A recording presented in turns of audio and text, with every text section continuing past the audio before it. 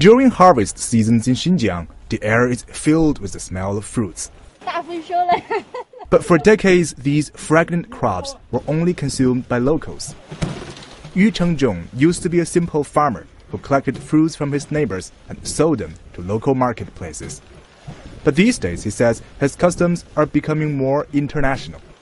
这个我们的油塘呢，如果是呃在韩 In recent years, Xinjiang has built quite a number of greenhouses, and farmers can now grow out of season fruits. Such supplies are still in shortage in many regions and countries like Kazakhstan.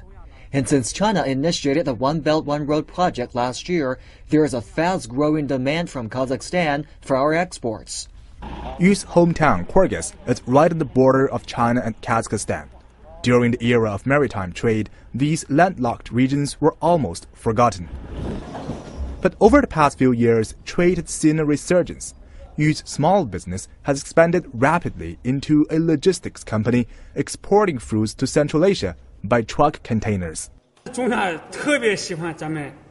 These fruits are very popular among Central Asian customers.